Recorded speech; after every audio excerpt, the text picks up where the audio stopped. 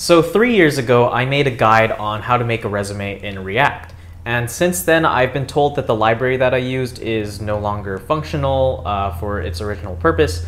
And along with that, I just thought of a better way in general to achieve the same outcome. First, what I'm gonna do is teach how to make the resume in HTML or React, and then I'm gonna explain why it's better than my previous version.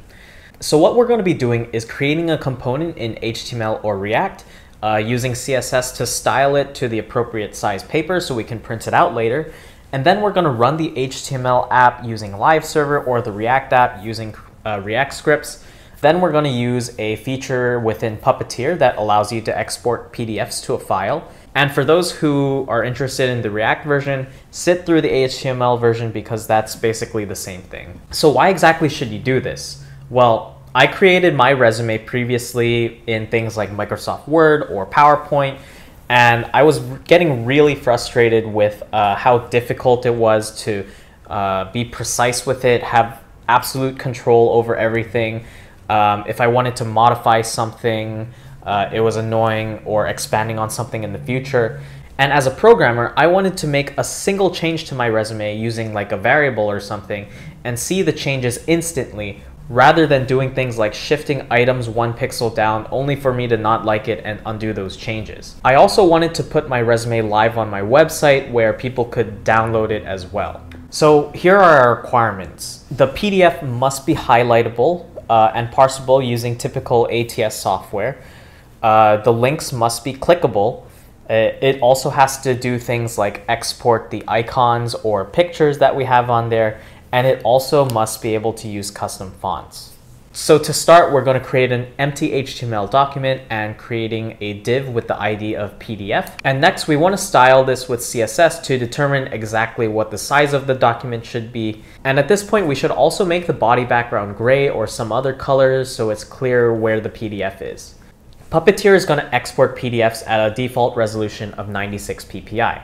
This means that to match a standard letter size, we want to use uh, 8.5 times 11 uh, multiplied by 96, which returns uh, 816 pixels wide and 1056 pixels high. Uh, we also want to make sure that the body padding and the margin are zero.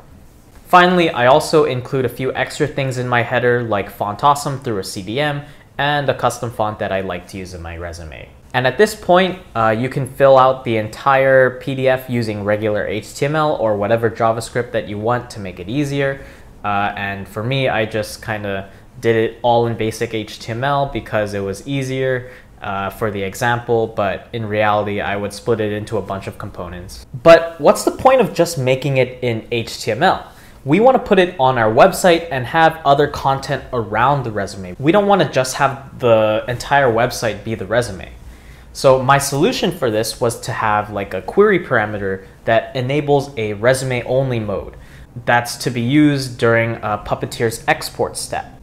So for this, we uh, create a new URL based on the window location, and then we grab out the query parameters using the URL search params class. Uh, note that this class does not work with Internet Explorer 11. So if you want to make your website work for that, then you're going to need to write out your own uh, code for that to support it. Next, we just get the query parameter and then we just remove the element uh, based on that. So Puppeteer has a variety of use cases for opening a browser page and doing stuff with it through code.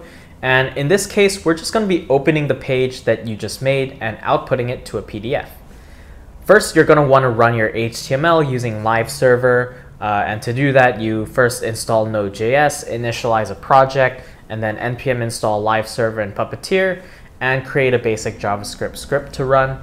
So you run the HTML with live server, and for this I'm using port 3000 uh, just to match React, but you can use whatever thing you like. You can also name your HTML file whatever you want. And the entire script is as follows. Uh, first, you're gonna wanna import Puppeteer, and then you want to launch a new Puppeteer browser, then create a new page for it, and then go to the HTML page that you just made. Make sure to include the the resume only query parameter, uh, and then you just call page.pdf to output it to a file. We're going to want to use the format of letter, And then finally, just close out the browser. It's that simple. Now you have a PDF that you can upload anywhere and you can also include a download link on your website for. Now the React version is pretty much the exact same. I just created this quick app using Create React App and I reordered some stuff from the HTML version and this is basically it. As for my fonts and my font awesome, uh, I put that within the public index.html file. Um, but you can just as easily import it within your React code in other ways that you see fit to your use case. Then you just do the exact same thing as Puppeteer with the HTML app. So why exactly is this better than uh, the PDF export with Kendo that I had in my previous version? Well, there's a couple of reasons here. One is that you can run this on the server side to produce a PDF instead of relying on things like client-side calculations.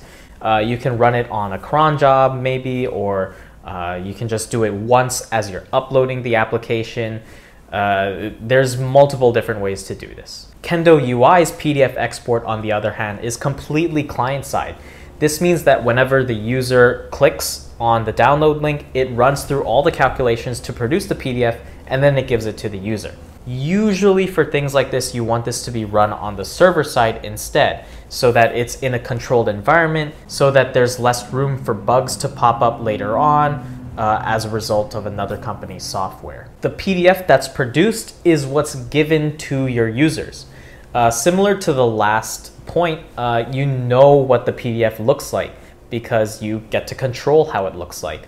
Um, you produced it and that copy is what's going to be given to your users rather than something that's uh, done client side and then it could have bugs that you don't even know about.